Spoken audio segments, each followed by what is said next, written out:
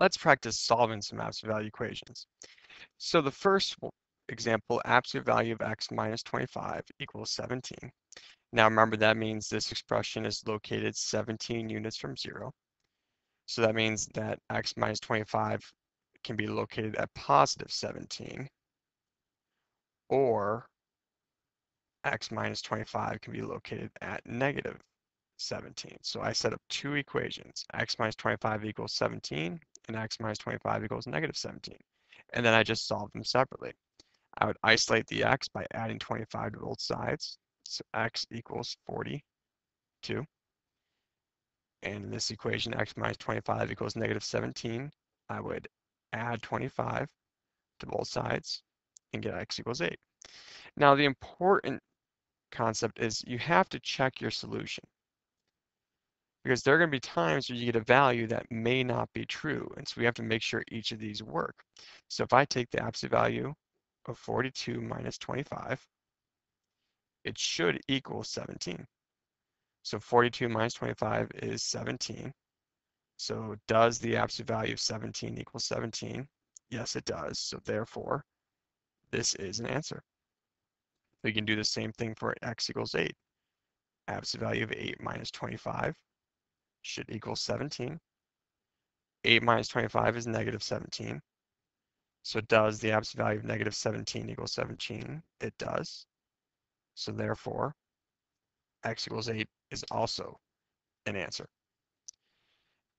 So let's see why it's important to check our solution with this following example. Absolute value of 2x plus 7 equals, sorry, plus 5 equals 0. We're going to want to first isolate the absolute value by itself. So I'm going to remove this positive 5 and move it over to the other side by subtracting. So really my equation is the absolute value of 2x plus 7 equals negative 5.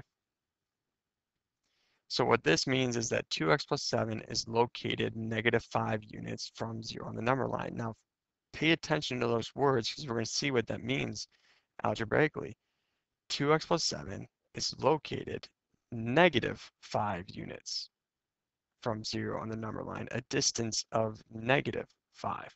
That's, that's interesting. So let's see what that means algebraically. So we'll follow the same idea. We'll keep the original and drop the bars, and then we'll make the number it's equal to the opposite, the negative of it. So negative and negative is positive. So let me solve for x. I would subtract 7 and get 2x equals negative 12 and divide by 2, x equals negative 6. Subtract 7, 2x equals negative 2. Divide by 2, x equals negative 1. Now, let's check our answers. If we were to plug negative 6 in to our equation, and I'll go back to the original, if we do twice negative 6 plus 7 inside the absolute value, and then add 5 to that, you know, our work says we should get 0. So let's see, we have 2 times negative 6 is negative 12, plus 7 is negative 5. So I have the absolute value of negative 5 plus 5 should equal 0. Well, the absolute value of negative 5 is a positive 5. So really, I have 5 plus 5 equals 0. Does 10 equal 0? That's not a true statement. So that means this is not a real solution to this, well, not a solution at all to this. Let's see about x equals negative 1.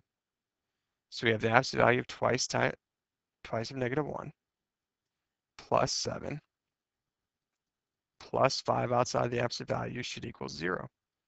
So the absolute value of negative 2 plus 7 plus 5 should equal 0. So we get the absolute value of 5 plus 5 equals 0. Well, the absolute value of 5 is 5. So does 5 plus 5 equal 0? Does 10 equal 0? That's another false statement. So that means x equals negative 1 is not a solution. So neither one of our answers work. And so when this happens, we say there are no solutions. Now, why are there no solutions for this problem? And that's where I said it was important to look at the translation of the absolute value equation. We're told to translate it as 2x plus 7 is located negative 5 units from 0, a distance of negative 5. And if we recall our definitions, we've learned that distance is always positive. Distance is always positive. So when we isolate our absolute value and see it's equal to a negative number, there's no way we can have any answer because our distance is negative, and distance can never be negative for it. So that's a very unique problem and why it's important to understand the definition of absolute values. So let's look at the third example. Absolute value of x minus 2 minus 13 equals 5. You would isolate the absolute value bars by themselves by adding 13 to both sides. So the absolute value of x minus 2 equals 18. And now let's set up our two equations. One where x minus 2 is equal to positive 18, and one where x minus 2 is equal to negative 18. You would add 2 to both sides, you get x equals 20 here. Add 2 to both sides, you get x equals negative 16. And you can plug these back in.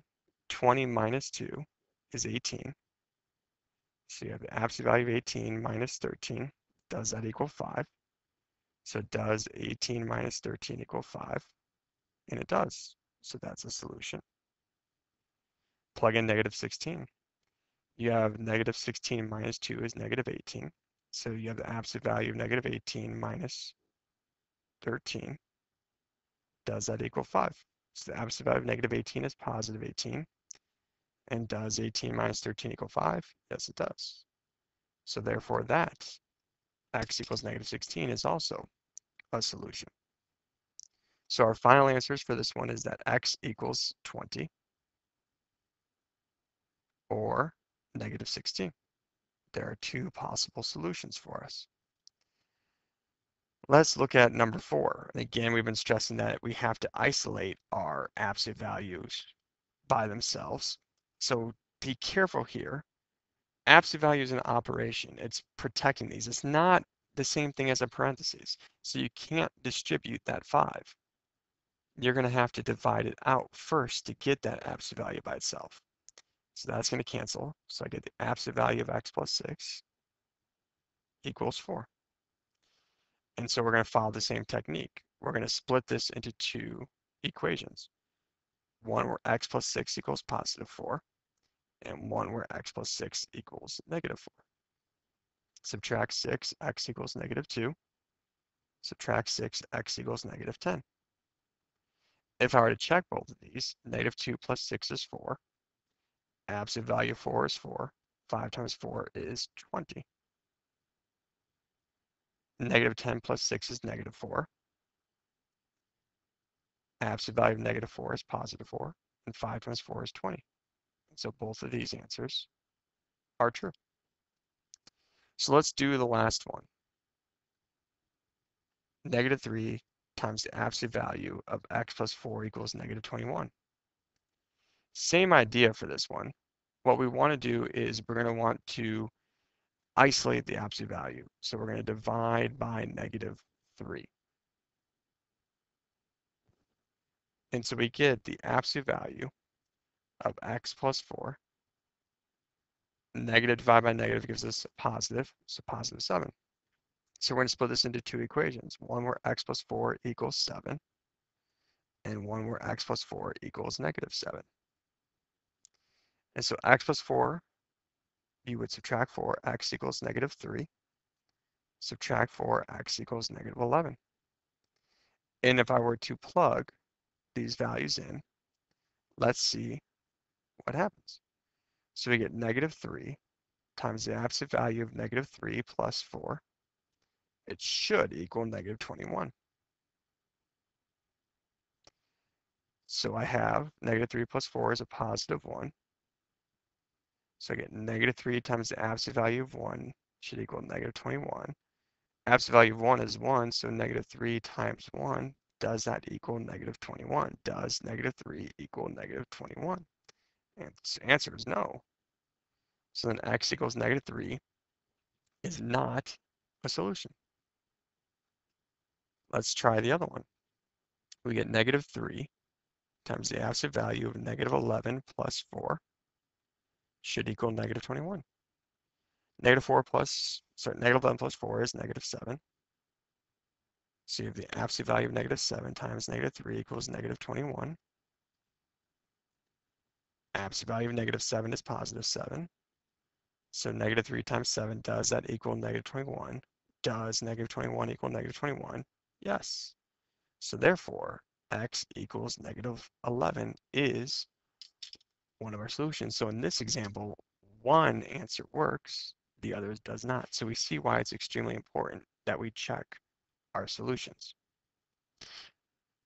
So the rule is when you are solving absolute value equations, you need to get the absolute value by itself